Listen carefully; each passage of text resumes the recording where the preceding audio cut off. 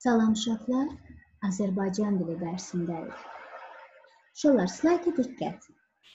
Bu Azərdir. Azər xəstələnib. Gəlin görək Azərin xəstələnməyinə səbəb nələrdir? Şəkillərdən də gördüyünüz kimi Azər ya soyuq suda çimib, ya soyuq su içib, ya meyvələri, tərəvəzləri yuyulmamış yeyib, ya gigiyenik qaydalarına riayət eləməyib, ya da çoxlu dondurma yeyib. Deməli, uşaqlar Azər xəstələnir, anası evə həkim çağırır və Azər evə getmiş, məktəbə getmiş. İndi gəlin uşaqlar, hadisələri bir-biri ilə əlaqələndirək. Deməli, başlıca səbəb olaraq birinci nə baş verdi? Azər görəsən niyə məktəbə getmədi? Niyə görə Azərin e, belə deyim, Azərə anası həkim çağırdı. Azər çoxlu dondurma yemişdi. Düzdürmü? Başlıca səbəb bütün bu hadisələrin başlıca səbəbi Azərin çoxlu dondurma yeməsidir. Bəs yaxşı. Azər çoxlu dondurma yedi və təbii ki, xəstələndi. Və anası nə etdi? Bu hadisədən doğan ikinci addım nə baş verdi? Ana nə etdi? Gördü ki, oğlu xəstələnib ana evə həkim çağırdı. Bəs bütün bu hadisələr nə ilə nəticələndi? Azər məktəbə gedə bilmədi. Hə dostlarım, bu gün sizinlə yeni bir mövzu öyrənəcəyik. Mövzumuz səbəb, nəticə əlaqəsidir. Dostlar, hadisələrin bir-biri ilə əlaqəsi olur. Yəni baş verən hadisələr bir-biri ilə əlaqəli olur. Bir hadisə başqa bir hadisənin baş verməsinə səbəb olur. Müəyyən bir hadisə əvvəlki hadisənin nəticəsi, sonrakı hadisənin səbəbi ola bilər. Gəlin biz öncə bir mətnlə tanış olaq Mətndən səbəb-nəticə əlaqələrini, az öncə söylədiyim kimi hadisələrin bir-biri ilə əlaqəsini müəyyənləşdirək, daha sonra mövzumuza davam edək. Bir hökmdar Məhəmməd peyğəmbərin yanına bilikli bir həkim kimi e, bilikli bir həkim göndərir. Həkim bir neçə il bu ərəb ölkəsində qalır. Lakin bu müddət ərzində heç kim ona müalicə üçün müraciət etmir. Nəhayət o Məhəmməd peyğəmbərin yanına gəlib şikayətlənir. Burdaca stop edirəm uşaqlar. Deməli, həkim Ərəb ölkəsinə gəlir, qalır ki, xəstələri müalicə eləsin. Lakin bu müddət ərzində bir dənə xəstə ona müraciət eləmir. Və e, son olaraq bir insan daha doğrusu ona müraciət eləmir və son olaraq həkim gəlir Məhəmməd peyğəmbərə şikayətlənir. Gəlin oxuduğum bu abzasda səbəb nəticəni müəyyənləşdirək. Uşaqlar, həmişə ə, e, hadisələri müəyyənləşdirərkən birinci ə, e, nə baş verdiyini ayırd edək. Nə baş verdi? Yəni bu abzasın sonluğu nə ilə nəticələndi? Həkim peyğəmbərə şikayətləndi. Düzdürmü? Həkimin peyğəmbərə şikayətlənməsi bu bizdə nəticə hissəsidir. Bəs şikayətlənməyin səbəbi nə oldu dostlar? Təbii ki, şikayətlənməyin səbəbi e, hə, hə, həkimə heç kim müraciət etmədi kənddən. Düzdür? Ölkədən heç kim müraciət etmədi. Keçək ikinci hissəyə. Məni bura göndəriblər ki, sizin adamları müalicə edim. Ancaq indiyədək heç kim mənə müraciət etməyib ki, öhdəmə düşən vəzifəmi yerinə yetirim. Peyğəmbər deyir: Bu cəmaatın bir adəti var. Acmamış yeməz, doymamış yeməkdən əl çəkər. Həkim bu sözlərdən sonra adamların sağlamlığının səbəbini başa düşür. Peyğəmbərə təzim edib öz vətəninə qayıdır.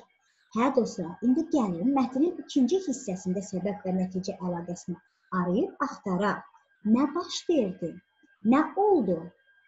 Nə ilə nəticələndi? Həkim öz vətəninə qayıdır. Bu bizim nəticəmiz oldu. Bəs buna səbəb nə oldu? Həkim başa düşür ki, bu ölkədə olan insanlar hamısı sağlam qidalanırlar. Onlar lazım olandan artıq yemirlər. Deməli, uşaqlar diqqət yetirdiniz. Nə baş verdi deyərək nəticəni araşdırdıq. Nəticəyə verdiyin suala diqqət. Nə baş verdi? Həkim öz vətəninə geri qayıtdı. Buna səbəb nə idi? Niyə? Nə üçün? Suallarına diqqət. Səbəbə işarədir artıq. Səbəbi araşdırırıq. Səbəbi araşdırmaq üçün niyə, nə üçün kimi suallardan istifadə edirik. Çün buna səbəb Deməli, çünki buna səbəb e, həkim gördü ki, ölkədə hamı sağlam qidalanır və insanlar belə deyim, e, lazım olandan artıq yemirdilər. Ona görə də həkimə burada ehtiyac olmadığından həkim öz vətəninə qayıtmalı oldu. İnşallah biz sizinlə sağlamlığın səbəblərini e, deməli bilirik ki, sağlam olmaq üçün insanlar deməli hər gün idman etməlisiniz, idmanla məşğul olmalısınız.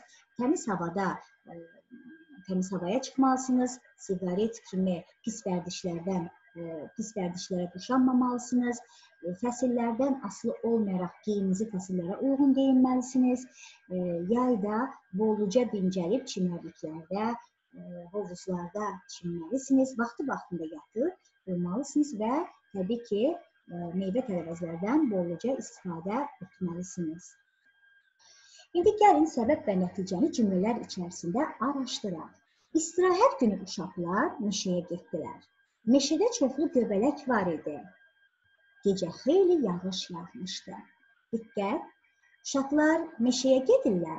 Meşədə çoxlu göbələk var idi. Görəsən çoxlu göbələyin e, göbələk var idi. Gecə xeyli yağış yağmışdı. Aha, deməli uşaqlar, çünki gecə xeyli yağış yağmışdı. Deməli uşaqlar, bu cümləmizdə nəticə meşədə çoxlu göbələk var idi. Çünki gecə yağış yağmışdı. O balaca mətnimizdə nəticə hissəmiz nə baş verdi? Meşədə çoxlu göbələk olduğunu uşaqlar gördülər. Nə baş verdi? Uşaqlar çoxlu göbələk olduğunu gördülər. Buna səbəb isə göbələklərin çoxlu çıxmağına səbəb isə gecə yağışın yağmağı idi. Dərsə gecikən Ayaz özünü avtobusun qapısından içəri atdı. Sərnişinlər qışqırıq səsinə dönüb baxdılar. Avtobus dayandı. Ayazın ayağı qapının arasında qalmışdı. Görəsən nöqtələrin yerinə hansı söz olacaq? Çünki Ayazın ayağı qapının arasında qalmışdı. Deməli dostlar, avtobus dayandı. Bu bizim nəticə hissəmizdir. Çünki aya buna səbəb isə Ayazın ayağı qapının arasında qalmışdı. Deməli, bu mətndə nəticələnən nə baş verdi? Avtobus dayandı. Niyə? Nə üçün? Çünki Ayazın ayağı qapının arasında qalmışdı. Fikir versiniz, hadisələr necə bir-biri ilə əlaqəlidirlər dostlar? Bir hadisə əvvəlki hadisənin nəticəsi, sonrakı hadisənin isə səbəbidir. Reyhan xala işə gedəndə hava tutqun idi. Axşam yağış başladı. Dayanacaqdan evə gələnə qədər Reyhan xala islan, islandı. Axşam yağış başladı. Ona görə də dayanacaqdan evə gələnə qədər Reyhan, Reyhan xala islandı. Deməli uşaqlar nəticə olaraq nə oldu, nə baş verdi? Reyhan xala islandı. Buna səbəb yağış yağdı. Ona görə də yağış yağdı. Qızmar günəş hər tərəfi yandırırdı. Nahardan sonra çimərliyə getməyi qərara aldı. Hava çox isti idi. Ona görə də çimərlikdə xeyli adam var idi. Dostlar, nəticə olaraq nə oldu? Nə baş e, deməli, nə oldu? Nə baş verdi? Çimərlikdə xeyli adam var idi. Bəs buna səbəb havanın çox isti olması idi. Aha. Məktəbimizin həyətində hər şənbə günləri iməclik keçiririk. Həyəti səliqəyə salır, ağaclara qulluq edirik. Odur ki, bura həmişə təmiz və yaraşıqlı olur. Deməli, səbəb və nəticəni araşdıraq. Nəticə odur ki, həyət həmişə təmiz və yaraşıqlı olur. Nəticə olaraq həyət həmişə təmiz və səliqəlidir. Buna səbəb isə iməciklərin keçirilməsidir. Ata şam yeməyindən sonra qəzet oxumaq istədi. O qəzetləri götürüb divanda əyləşdi, amma eynəyini işdə unutmuşdu. Ona görə də odur ki, və yaxud qəzet oxuya bilmədi. Nəticə olaraq nə baş verdi? Ata qəzet oxuya bilmədi. Bəs buna səbəb eynəyinin işdə qalması idi. Uşaqlar, siz cümlələrə diqqət yetirdinizsə, iki cümlə arasında çünki sözü işləndikdə birinci cümlə həmişə nəticə olur. İkinci cümlə isə səbəb hissi olur.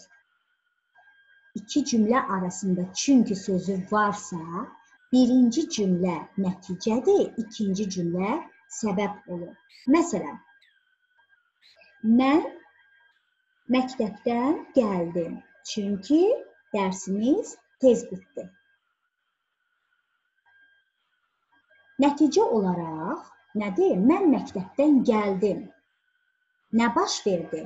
Mən məktəbdən tez gəldim.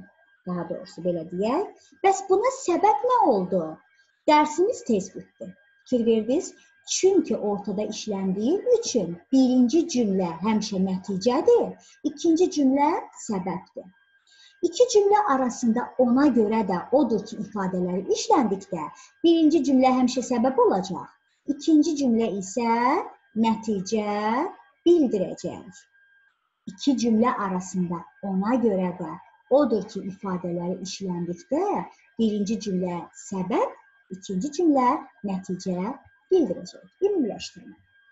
Hadisələrin bir-biri ilə əlaqəsi olur. Bir hadisə başqa bir hadisənin baş verməsinə səbəb olur. Səbəb olan hadisəyə nə üçün, niyə sualları qoyulur? Nəticəni bildirən hadisəyə nə baş verdi sualı qoyulur. Müəyyən bir hadisə əvvəlki hadisənin nəticəsi, sonrakı hadisənin səbəbi ola bilər. Uşaqlar, mövzumuz bu qədər. Ümidvaram ki, səbəb və nəticə əlaqələrini test üzərində, çalışmalar üzərində işlədikcə daha da mükəmməl şəkildə öyrənəcəksiniz. Diqqətinizə görə çox sağ